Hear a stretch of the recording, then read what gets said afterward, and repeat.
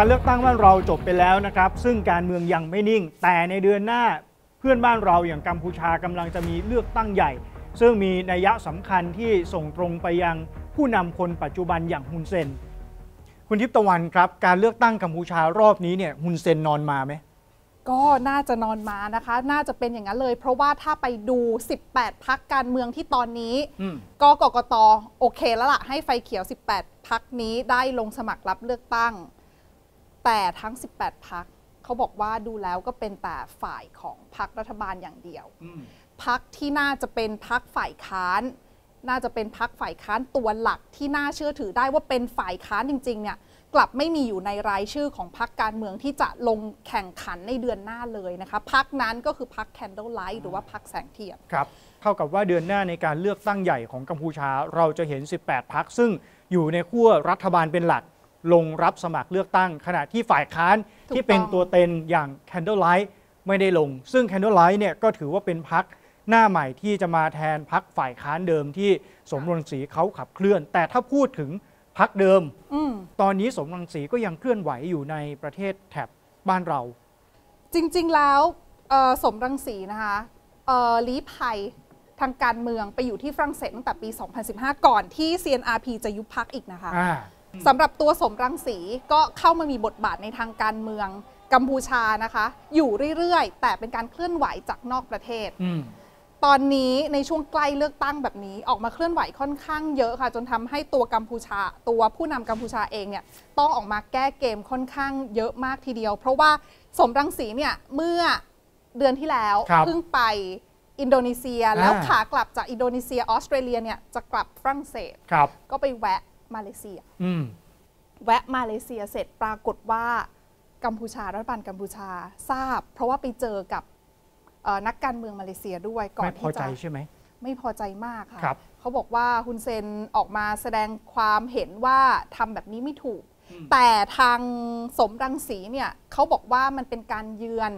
ที่เป็นการเยือนแบบ p r i v a t ครับ ส่วนตัวเป็นเพื่อนกันไปเจอกันไม่ได้มีทางการเมือง แล้วแม้กระทั่งตัวรัฐบาลของมาเลเซียเองก็บอกว่าตัวอันวาอิบราฮิมนายกรัฐมนตรีมาเลเซียไม่ทราบเรื่องนี้ ครับแล้วก็ไม่ได้สนับสนุนอะไรก็เหมือนกับเป็นการออกตัวไกลๆนั่นแหละค่ะ แต่ว่าฮุนเซนเนี่ยก็บอกว่าได้มีการติดต่อประสานกับตัวเอ่อมาเลเซีย รัฐบาลมาเลเซียด้วยในกรณีนี้นะครัคะบซึ่งก็ได้รับคำปฏิเสธ มาจากทางรัฐบาลมาเลเซีย แต่ไม่ใช่แค่นั้นไงบ้านเราเขาก็พูดถึงนี่ ใช่ เพราะหลังจากที่เราอะเลือกตั้งเสร็จละครับได้พักที่มีคะแนนเสียง รู้แล้วว่าใครจะได้จัดตั้งรัฐบาลนะนะคะว่าที่รัฐบาลชุดใหม่อาจจะเป็นก้าวไกลอ่าแล้วสมรังสีเขาก็เลยบอกว่าถ้ารัฐบาลก้าวไกล คือรัฐบาลที่สนับสนุนประชาธิปไตยในประเทศไทยเนี่ยอืม ได้จัดตั้งขึ้นมาจริงๆเนี่ยเขาบอกว่าเขาจะเดินทางกับกัมพูชาโดยผ่านไทย อ่า ร้อนเลยค่ะ สมเด็จฮุนเซนก็เลยบอกว่าติดต่อทางรัฐบาลไทย บอกว่าถ้ามาจริงอืมจับนะ อ่า ก็ขอความร่วมมือของไทยอะนะคะ ว่าครับในการจับสมรังสี แล้วก็มีอีกกรณีหนึ่งเป็นข่าวใหญ่พอสมควรเหมือนกัน เพราะว่า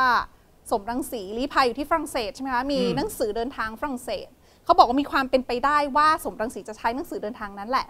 เดินทางมาเวียดนามก่อน แล้วก็อ่าข้ามจากเวียดนามเข้าไปที่กัมพูชา ซึ่งตัวผู้นำกัมพูชาก็ไม่พอใจเหมือนกัน แล้วก็ครับบอกว่าได้มีการประสานกับเวียดนามเหมือนกันว่า ถ้าลงถึงดินแดนเวียดนามเมื่อไหร่เนี่ยขอให้จับกลุ่มตัวให้หน่อยได้ไหม ดังนั้นเนี่ยเรื่องเนี้ยค่อนข้างที่จะมีสีสันในทางการเมืองพอสมควร เป็นการตอบโต้ไปมาอ่าระหว่างตัวผู้นำกัมพูชากับสมรังสีที่ยังอยู่นอกประเทศอะนะคะ แบบเนี้ย ร้อนมาถึงเรื่องในประเทศด้วยสำหรับ Candlelight Party พัครับแสงเทียน เพราะว่าถึงแม้ว่าจะบอกว่าไม่ได้ลงสมัครรับเลือกตั้ง เพราะว่าไม่มีคุณสมบัติพอ แต่เขายังคงมีความพยายามที่จะเคลื่อนไหวครับในเรื่องของการเลือกตั้งอยู่ ไม่ว่าจะเป็นชวนคนออกมาประท้วงอืมแต่ก็ถูกสมเด็จฮุนเซนแก้เกมนะคะ ก็คือขู่ว่าถ้าประท้วงแกนนำพักคุณโดนจับนะอ่าอ่า ครับไม่ใช่แค่นั้น CNRP และ Candlelight พยายามที่จะรณรงค์ให้คนออกมา บอยคอรดการเลือกตั้งรอบนี้ เพราะว่ามองว่าไม่บริสุทธิ์ยุติธรรมบ้างโดยเฉพาะ CNRP แล้วก็ตัวสมรังสีนะคะครับเพราะเขามองว่าการเลือกตั้งครั้งเนี้ยมีแต่พักของฝ่ายฮุนเซนแล้วมันจะเสรียังไง ดังนั้นก็เลยพยายามบอกว่า ประชาชนไม่ต้องออกมาใช้สิทธิ์สิครับบอยคอรดให้เขาเห็นไปเลยว่าคนไม่สนับสนุนแล้วก็ไม่เห็นชอบไม่ให้ความชอบธรรมกับการเลือกตั้งในครั้งนี้ ครับ คุณเซนแก้เกมใหม่ค่ะอะแก้เกมอีกแล้ว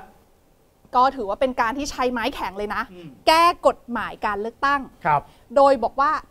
ถ้าคุณไม่ออกมาใช้สิทธิ์เลือกตั้ง รอบนี้เดือนหน้านะคะ23 กรกฎาคม คุณก็จะไม่มีสิทธิ์ที่จะลงสมัครรับเลือกตั้ง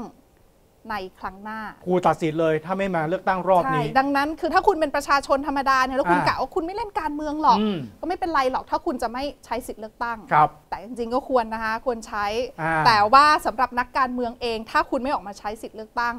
ลืมไปเลยนะคะ ครั้งหน้าคุณลงสมัครไม่ได้แน่คำถามสุดท้ายครับทำไมฮุนเซนถึงมีความเคลื่อนไหวในลักษณะส่ออาการว่า กลัวการเคลื่อนไหวของฝ่ายค้านเก่าที่นำโดยสมรังสีกลัว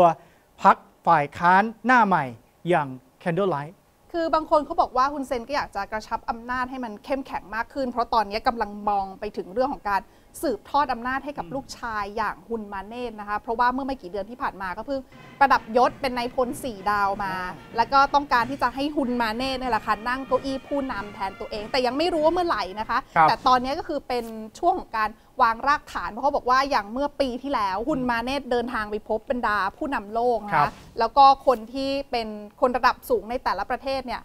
เป็น 10 คนนะคะ เยอะขึ้นจากปีก่อนหน้าที่อาจจะมีสักปีหนึ่งสองคน รวมทั้งติดตามคณะไปเยือนจีนด้วยค่ะ ครับ พบกับอ่าประธานาธิบดีสีจิ้นผิง อันเนี้ยก็ถือว่าหลายคนก็บอกว่า เปิดถ้าเป็นตัวคนธรรมดาธรรมดาเนี่ยจะพาไปเจอผู้นำจีนทำไม เพครับ ราะหลายๆคนก็รู้ว่ากัมพูชากับจีน มีความสัมพันธ์ที่แน่นแฟนกันมากทีเดียวค่ะ เดี๋ยวคุณทิพย์ตะวันจะไปติดตามการเลือกตั้งที่นั้นด้วย อาจจะต้องกลับมาอัปเดตกันด้วยนะครับ ค่ะ วันนี้ขอบคุณครับ